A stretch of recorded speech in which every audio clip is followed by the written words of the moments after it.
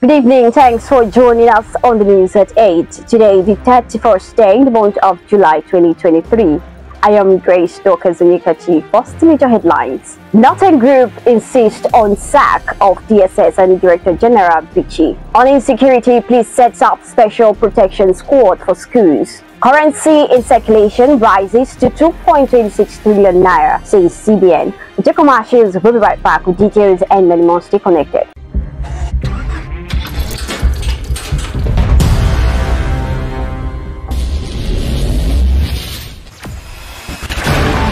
Experience the smooth and strong feeling that consistently surpasses expectation. Leading the way in high performance lubricants, Master Supermoto Oil is as durable as titanium.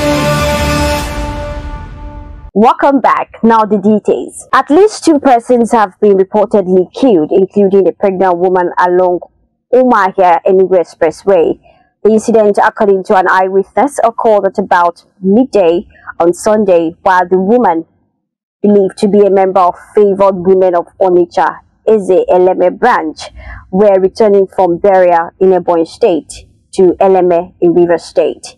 The accident occurred near Abia Towers in Umuahia, capital of Abia State, when the bus with registration number Abia APR 600 ZY bus tire and somersaulted into the forest, leading to the death of two persons. Arewa Youth Federation, AYF, has said it will join hands with other Nigerians to demand for the resignation of Director General of the Department of State Services, DSF, DSS, Yusuf Bichi.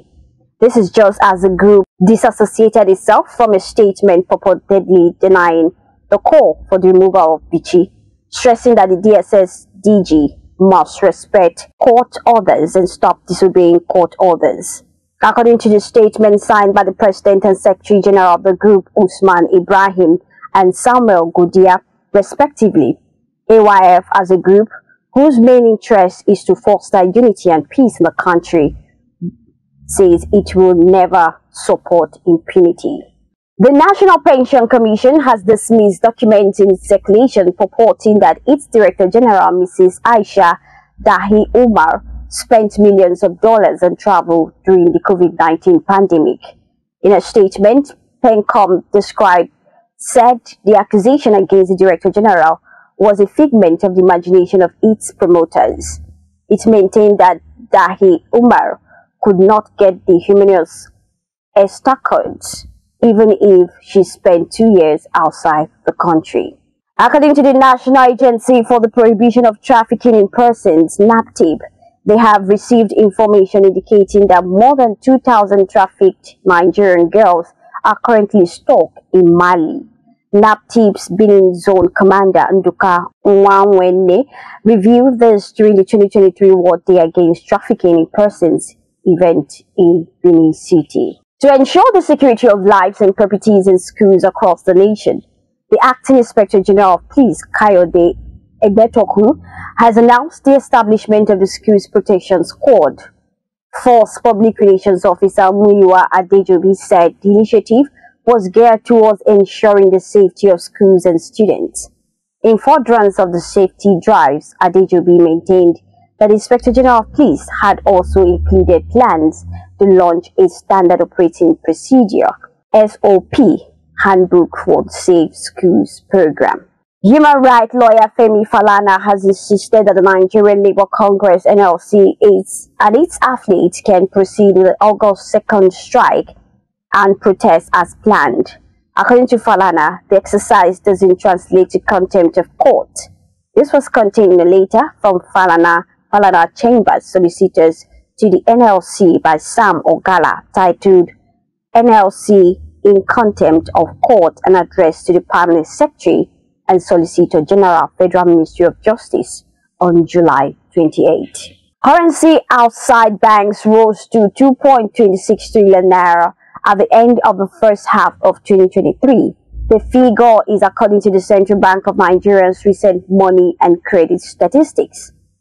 Currency outside banks rose from 982.09 billion naira at the end of February to 2.26 trillion naira in June 2023. The former governor of Rivers State, Nyesom Wike, has said President Bola Ahmed Tinubu will not regret nominating him as minister, describing himself as a performer. Speaking during his ministerial screening before the Senate, he said he executed and commissioned series of capital projects across rivers when he served as governor. On entertainment, Nigerian singer Divine Ikubor, also known as Rema, has revealed that losing his dad at an early age shaped his mind. He said he didn't take life seriously until his dad passed away and he realized the importance of family.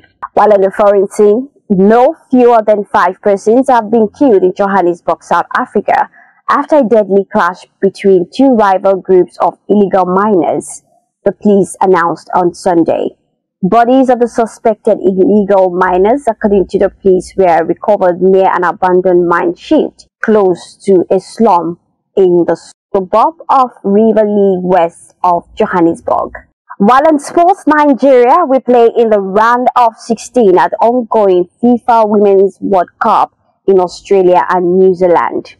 The Super Falcons played out a nil-to-nil draw with the Republic of Ireland on Monday to confirm their place. The closest Randy Waldrum's ladies came to grabbing a goal was when Uche Kanu's header was pushed into the bar by Irish goalkeeper Courtney Brosnan. This brings us to the end of the news at 8 from Fomigorica Ramija Stories. Northern Group insists on sack of DSS Director General Bichi. On insecurity, police sets up special protection squad for schools. Currency circulation rises to 2.26 trillion naira, says CBN. These and many more different platforms log on www.abntv.com.ng and you can also follow us on our social media platforms being displayed on the screen. I am Grace Dorcas Nika. Television Actress. Stay safe.